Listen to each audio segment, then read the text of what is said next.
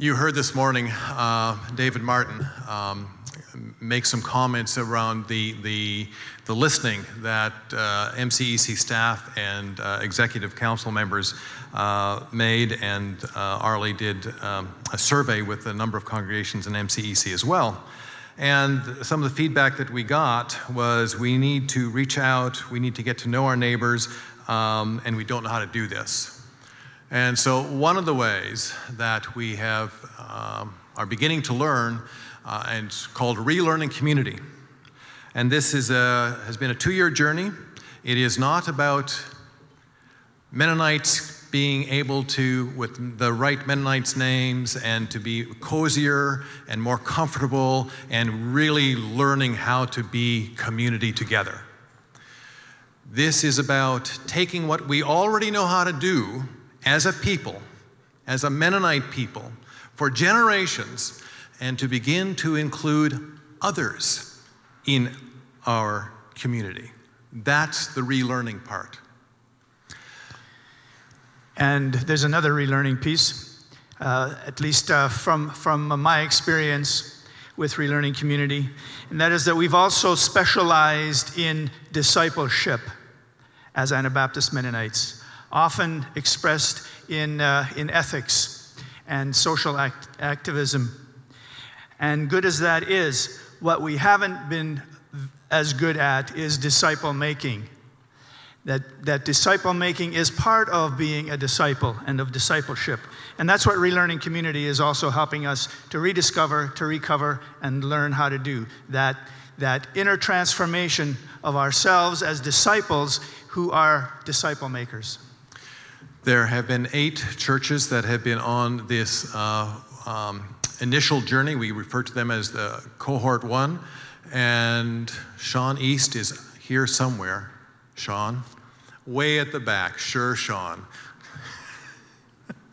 um, and Sean is just going to come up and uh, share briefly, Sean, as a pastor, uh, about what the relearning community has been for West Hills Fellowship.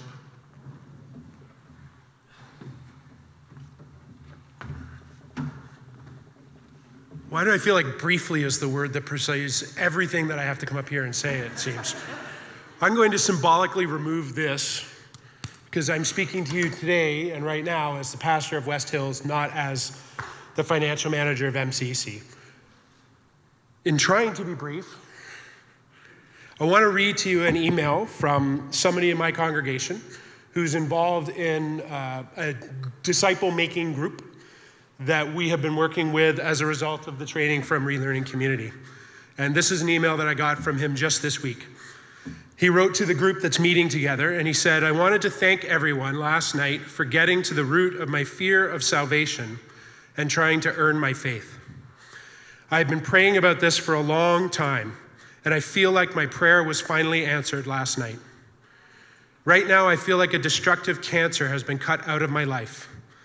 The thought process that I have been stuck in has caused me to work so hard to try and have the right theology. But the reality is, in the back of my mind, I was always terrified that my theology might be wrong. I also found myself working so hard to not sin that when I would inevitably fall, I would be devastated and it would bring up those fears again. This morning, that anxiety that I spoke about last night is gone. I have not experienced a sense of freedom like this in a very long time. Thank you for your willingness to be used by God last night and feel comfortable enough to ask me questions and challenge the way that I think about this. This is from someone who's been a Christian probably for 20 years who has said, done, and I experience him as someone who is trying to live a life for Christ and do the right things. And what relearning community has meant to us more than anything else is getting back to being intentional about what it means to be disciples and to make disciples. It's to stop operating under the assumption that if I preach a good enough sermon, or we teach a good enough Sunday school class, or we give somebody a good enough book that the result of that information will be disciples. It turns that notion on its ear by asking us not just to share potlucks, which are lots of fun, and not just to share fellowship, which is great, but to actually live life together on a journey of understanding what it means to be a disciple of Jesus Christ. Throughout all of this, I've been a Christian since I was in my early 20s. I was a CFO for 13 years and then became a pastor. And I promise this will be the last thing I say. As we were going through this material, I came to realize that I primarily experienced God as someone for whom I needed to do work.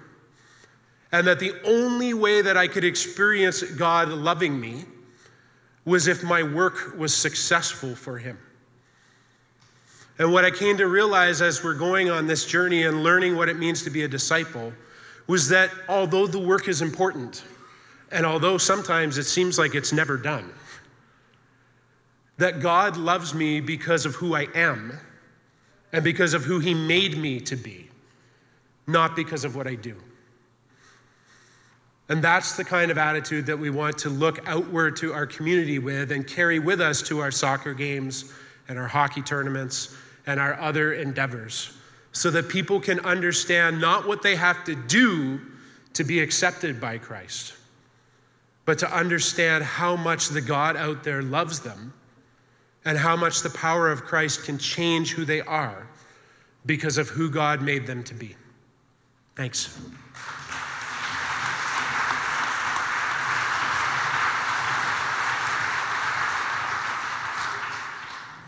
Amen. Thank you, Sean. Sean and uh, West Hills Church are part of the first cohort in Relearning Community, and uh, a second cohort uh, is on the journey as well. And uh, David Dyck, uh, pastor of at, at, the Leamington United Mennonite Church, is part of that cohort. And I've asked David to say a little bit about what, what he's excited about or what his hopes are for Relearning Community in his congregation. Leamington United Mennonite is uh, an 80 year old congregation uh, here in Leamington. I um, was introduced to the uh, relearning community uh, last year at this uh, very event, uh, the gathering at Rockway Mennonite High School. And um, the, the thing that really stood out for me at that gathering was how the whole day was about personal testimonies, people sharing their faith their personal faith with Jesus and the difference it was making in their lives. Uh, this struck me as something new. Uh, people being explicit about something that we take for granted as Mennonites, that preceding all of our mission and our ministry, there's a relationship. There's a personal relationship. And those stories were wonderful in the way they conveyed that. Well, part of that conference was also uh, to talk about relearning, and that's what caught my attention. This whole idea of discipleship and disciple making, being disciples and making disciples. As a pastor, this is very close to my heart. We talk a lot about discipleship as Anabaptists, as Mennonites. It's such a big part of our DNA, a primary part of our vision statement. But I wondered to myself, as a pastor, as a Christian, do we take a lot of this for granted? Does it all happen just because people show up at our church services, hear our sermons, attend our committee meetings, and go to Sunday school? My experience was telling me otherwise, that maybe it wasn't happening as much as we imagined. Even in my own personal life, I wondered, how am I growing as a follower of Jesus? Where am I being challenged? Where is the accountability in my life? I read a lot of books about it, but how is it actually being worked out in my daily life? That's why I'm grateful for relearning for 3DM, because it takes those questions very seriously. It is giving us as a church the vehicle to not only be disciples, but make disciples. It's raising the bar on what all this means, taking us out of our comfort zone, going into areas of our lives where we might not be comfortable. It also brings us together in community and huddles. And it, it is showing us how discipleship and mission are integrally linked. that one, the discipleship always precedes the, uh, the mission and the ministry. I appreciate that. I'm thankful to our leaders for uh, providing us with this initiative. And uh, we're just beginners. We're starting. Looking forward to the next 18 months. Thanks.